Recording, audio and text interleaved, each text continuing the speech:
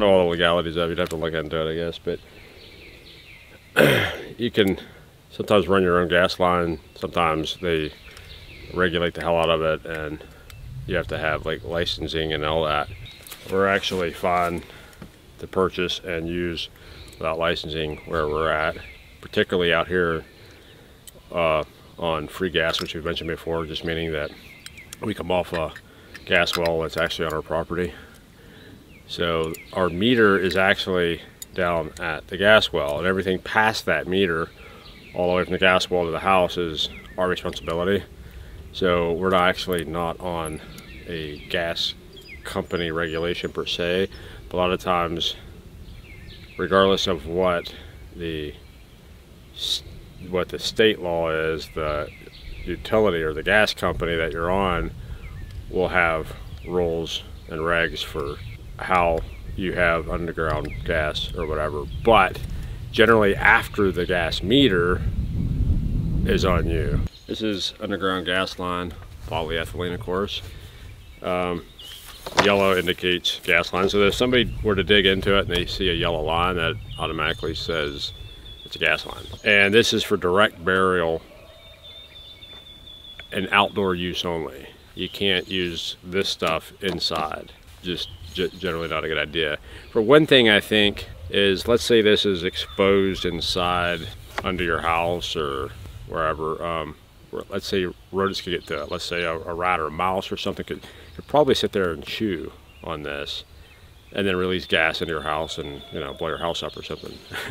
so for that reason and, and others, I guess, uh, you're not allowed to use this stuff inside and you shouldn't. So I did a lot of research on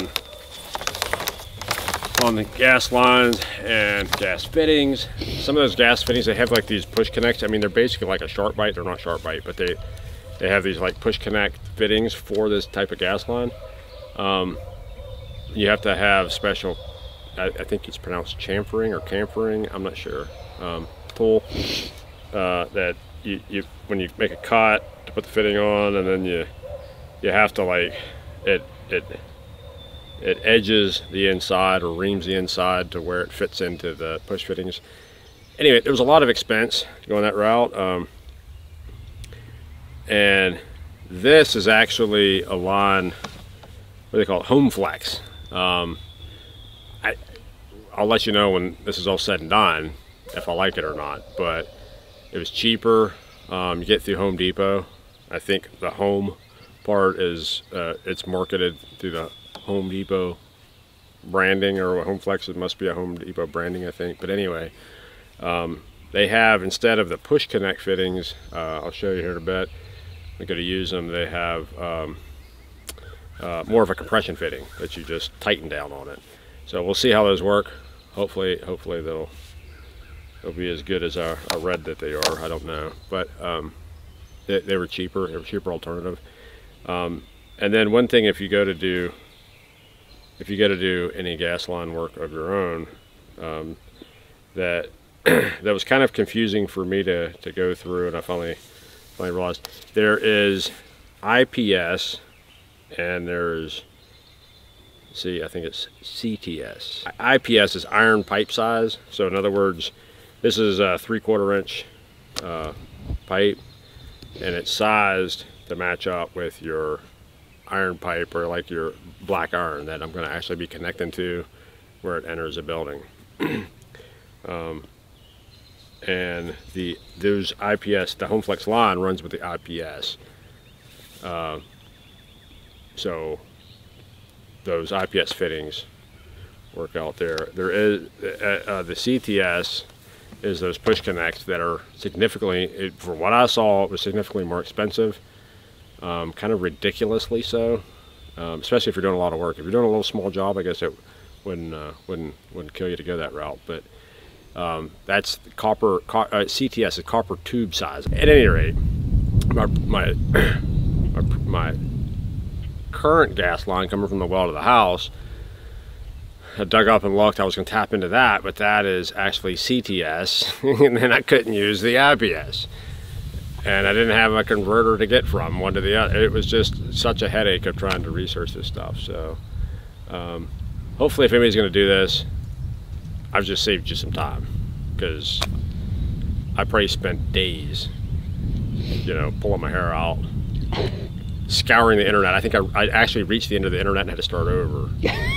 so, it, I'm telling you, it was like nobody just comes out and tells you that. It just kills me.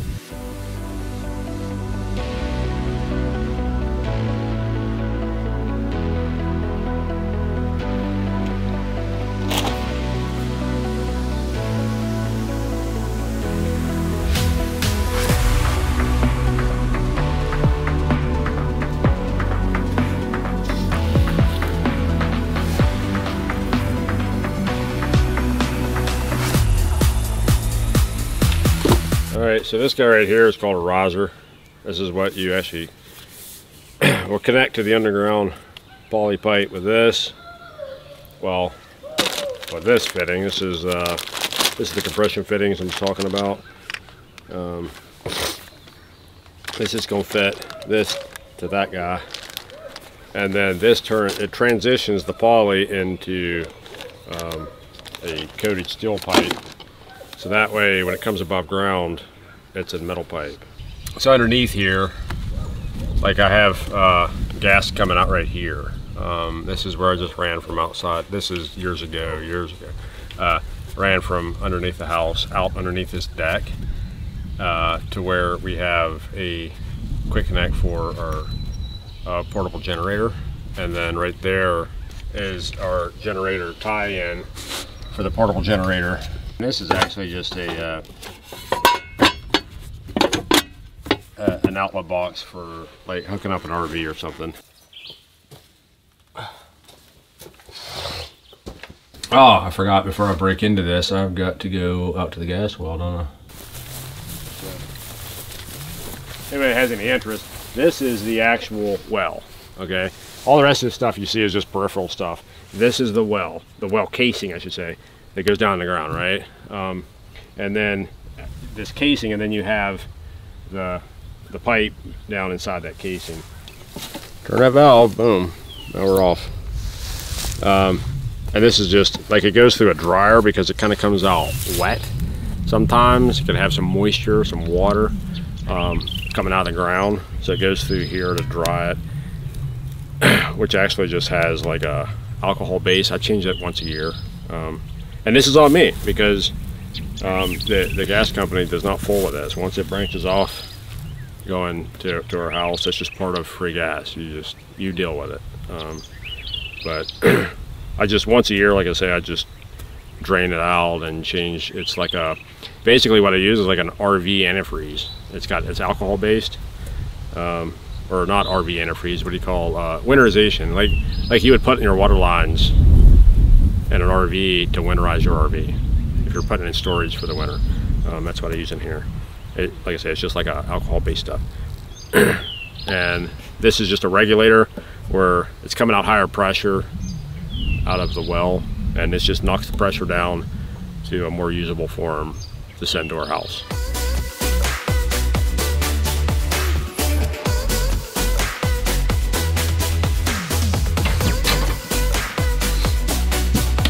This is where I'm gonna tie into the existing gas line. This is just Teflon goop. A lot of times I just use yellow thread tape.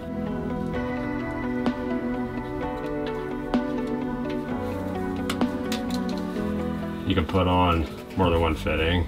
Like I did this nipple and then this valve. You can just turn turn the one in the back and it'll turn through and tighten both.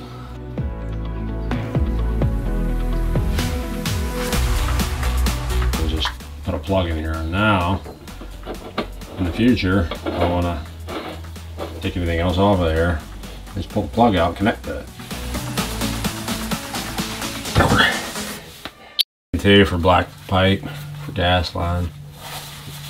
Have you ever done it before? Uh, you can go to the big box stores or know, any any place they sell this stuff, hardware store, or whatever, probably.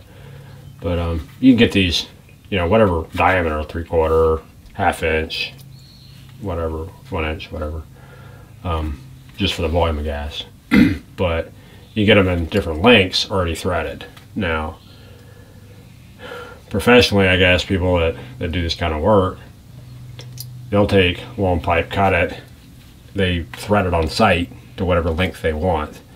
Um, but if uh, I, I don't I don't do that, I just get I kind of measure out and know about what I want um, when I go to buy the stuff, but I usually get a bunch of different pieces. Like I buy a bunch of extra fittings, a bunch of extra pipe at different lengths, so that way I can, uh, you know, there's something always not according to plan or whatever, and then generally with like most places, especially big box stores, whatever, um, have a pretty good return policy where whenever I'm done with the project and I have extra stuff that I don't think I'm going to use in the near future or whatever, I'll just I just take it back to them. Anyway, um, that's what I do. I just buy extra, take back what I need, whatever.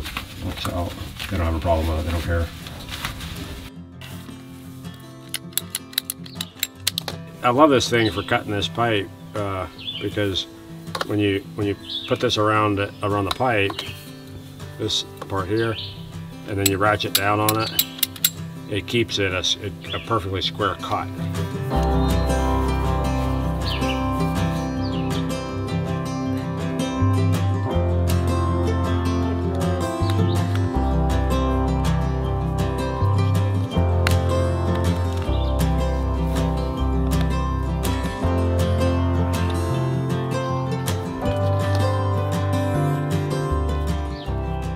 So you might be wondering why, if you've seen it in some of our shots, why we have these CDs hanging around in our backyard back here where the chickens are.